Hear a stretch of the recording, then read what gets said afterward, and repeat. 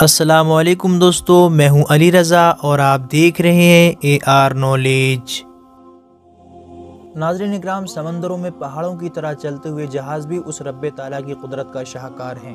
اور کیا ہی عجب بات ہے کہ ایک سوئی تو پانی میں ڈوب جاتی ہے، لیکن ایک ہزاروں ٹن وزنی جہاز مختلف چیزوں کا وزن اٹھائے، سمندروں کا سینہ چیرتے ہوئے اپنی منزل کی طرف ربا دبا ہوتا ہے۔ اس کے متعلق قرآن مجید فرقان حمید کی سورہ رحمان میں کچھ یوں ارشاد ہوتا ہے۔ وله الجوار المنشآت في البحر كالأعلام.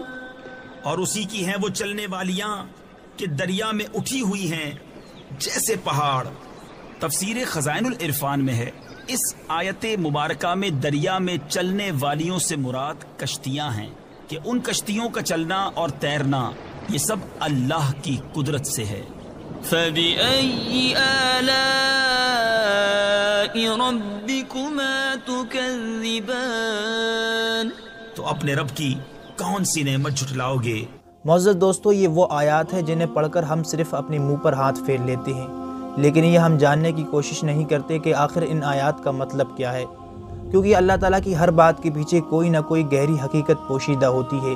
اس لیے قرآن پاک میں اللہ تبارک و تعالیٰ اپنی نشانیاں بیان کرنے کے بعد بار بار یہ فرماتا ہے، کیا یہ لوگ ہماری نشانیوں میں غور نہیں کرتے؟ کیا ان کی عقلوں پر تالے پڑے ہوئے ہیں؟ کیا یہ عقل نہیں رکھتے؟ اس میں عقل والوں کے لیے بہت سی نشانیاں ہیں۔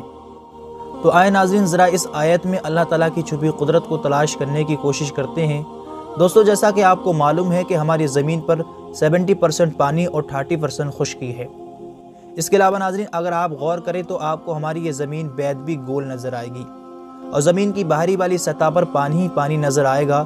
اور مزید حیرت کی بات یہ ہے ناظرین کہ انترکش میں ہماری زمین کو کسی چیز کا سہارا نہیں۔ کیا آپ نے کبھی سوچا ہے کہ جہاز جب تیرتے تیرتے زمین کی اس حصے پہ آ جائے تو زمین کے کناروں سے نیچے کیوں نہیں گرتا؟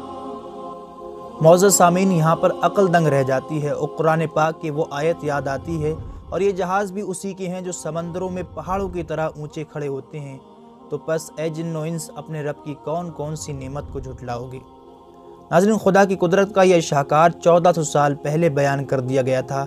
آج جدید سائنس ہمیں بتا رہی ہے کہ ہمارے اوپر قرہ ہوائی کا پریشر ہے اور نیچے گریوٹی فورس ہے، جو ہمیں خلا میں جانے سے روکے ہوئے ہے۔ اور جس دن قرہ ہوائی کا پریشر اور زمین کی گریوٹی فورس ختم ہو گئی، اسی دن دنیا کی ہر چیز درخت، انسان، گویا کے پہاڑ بھی ایسے اڑتے نظر آئیں گے جیسے کہ پتنگ اڑتی ہے۔ دوستو، یاد رکھا جائے کہ قرآن کا موضوع انسان ہے اور ہمارا مقصد قرآن پاک کو سمجھنا، اس پر عمل کرنا ہے۔ لیکن بدقسمتی سے آج قرآن پاک کو صرف روزی روٹی میں برکت ڈالنے کے لیے ہی محدود کر دیا گیا ہے۔